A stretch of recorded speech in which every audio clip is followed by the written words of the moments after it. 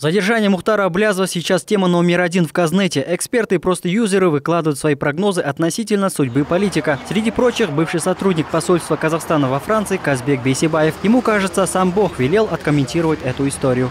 Франция это вообще считается ну, первой страной демократии. Да? Естественно, будет учтен э, негативный вот этот итальянский опыт – и в деле Облязова будут соблюдены все, э, все, ну, все нормы, все, не, все процедуры. То есть это дело э, примет там соответствующий резонанс, и она будет рассматриваться ну, как положено. Но надо сказать э, опять, что ну, в Европе, ну, во Франции, в частности, суд независимости, то есть э, суд независим, поэтому будет приниматься ну, решение суда. Активный сетевой автор политика Мижан Касанов – человек, который на себе не раз испытал понятие «казахстанское правосудие». Его взгляд – взгляд практика.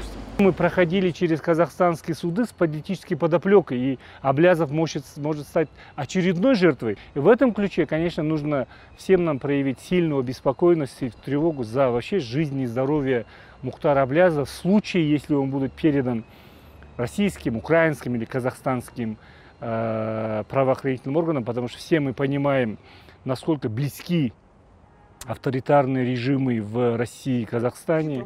Правозащитник Евгений Жовтис только что прилетел из Москвы. Последние новости из Франции – это то, что его интересует. Вот его юридические выкладки.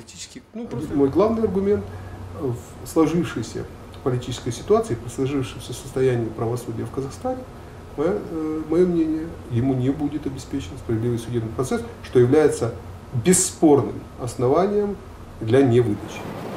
Некогда соратник Мухтара Аблязова по движению «Демократический выбор Казахстана» Петр Свойк, несмотря на серьезные разногласия, тоже поделился своим мнением. Мухтар Аблязов – конкретный личный враг, враг э, президента Казахстана. Это есть. Вот. А то, что он враг народа, враг страны, ну, нести, скажем, правду о власти, это значит вредить народу и стране. Ну, каким-то понтам вредить, а вообще э, объективно необходимому стране историческому прогрессу это только помогать. Если самых талантливых э, казахстанцев будут сажать в тюрьмы, там, французские или украинские или казахские, от этого хорошо не будет никому. Это первое впечатление заключения казахстанских экспертов и политических деятелей на событие, которое вчера произошло на юге Франции. Пока бесспорно одно. На сегодня дело об экстрадиции Мухтара Аблязова – главное внутриполитическое событие лета.